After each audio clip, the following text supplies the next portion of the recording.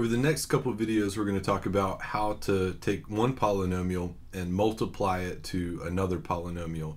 Now, the way most instructors approach this topic is they'll actually break it up into different cases, and I think that's the best approach. It's, it's really a good approach, and we're going to do the same. So we're going to start actually with just a monomial times a polynomial, and we'll look at some of the other cases in, in some of the later videos.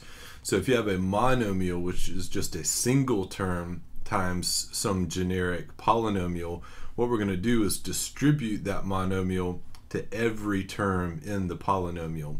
For example, if you had negative 3x times the polynomial x squared minus 7x plus 5, what we're going to do is we're going to take the minus 3x, the monomial, and distribute it to every term in the polynomial. And just because this is exactly what we would do if it was a constant times a polynomial, we'd use the distributive property. And we can do the same thing even if we have a, a monomial.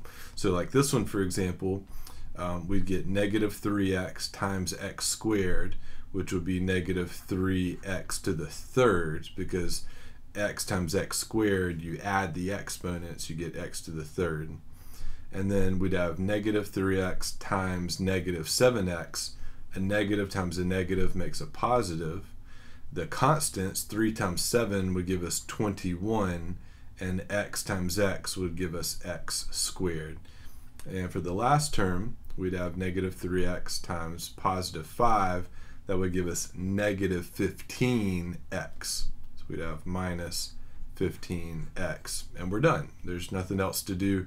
Uh, I will say if you, for whatever reason, have any like terms left over after you distribute or whatnot, uh, you can always combine like terms or clean it up however you need to. But basically, the, the meat of the problem is distributing the monomial just using the distributive property, basically.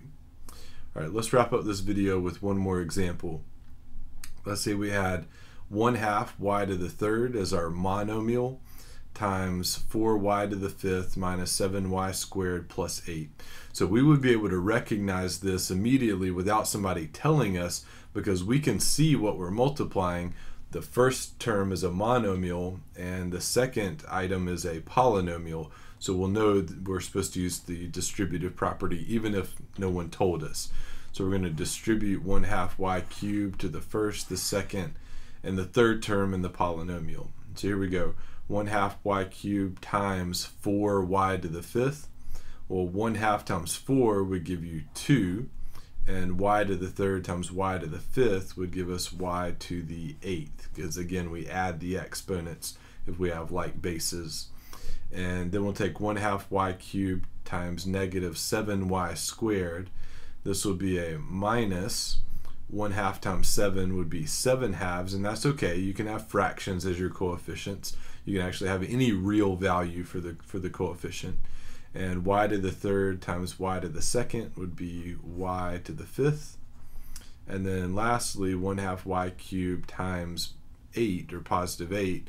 1 half times 8 would give us 4 and then we'd have just the y cubed because there are not any additional y's or anything like that. So that would be our final answer here. So basically, a monomial times a polynomial, you just use the distributive property to distribute this guy through all the terms.